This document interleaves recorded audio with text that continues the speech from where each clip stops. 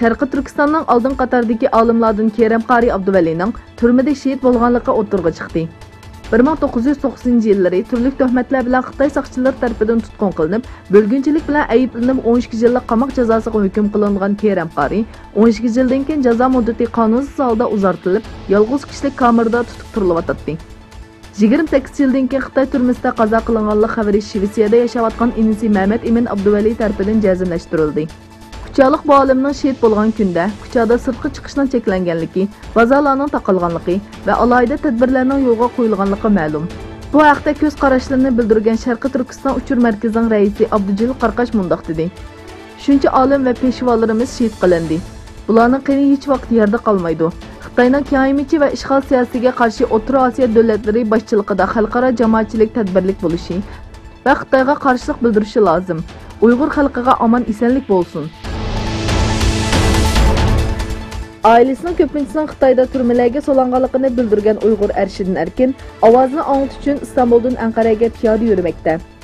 Erşidin Erkin Pakistan'da 6 yil qorliqda o'qiganligi uchun vatanga qaytqanda Xitoy tarafidan turmaga tashlanganligini va 1 yil sababsiz tutib turilganligini va şundaqla qiyin qıstaqa uchirganligini bildirdi.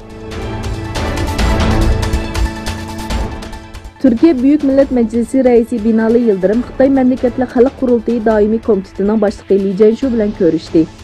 Bir qator uchrashuvlar uchun Xitoyga kelgan Türkiya parlamenti raisi Binali Yıldırım Beyjingdagi Xalq cho'ng saroyida Xitoy Məmləkətli Xalq Qurultayı Daimi Komitetining başlığı Li Jianshu bilan heyətlər ara yig'in o'tkazdi. Binali Yıldırım'ın Şarkı Türkistan'da tutkun turvatkan milyonluğa Uygurlarını ve Şarkı Türkistan meselesini oturup koyuş koymasını dikkatini tartmakta. İtaliya hökuməti 2019-cu ildə Xamçotsuda köçmənlər üçün acıratqan 30 milyon eurodan artıq sağlıq fondunu əməldən qaldırışını planlamaqda. İtaliya hökumətinin 2019-cu ildə Xamçotsu səbəblik Avropa Birliyi ilə yüzbəyən krizini həll qilish üçün köçmənlər haqqında qısış siyasətini yol qoyduğunu bildirdi. Cumhuriyet gezdi, dövlət Xamçotuda yüzbəyən özgürüşünün köçmənlərə təsir göstərdiyi bildirdi.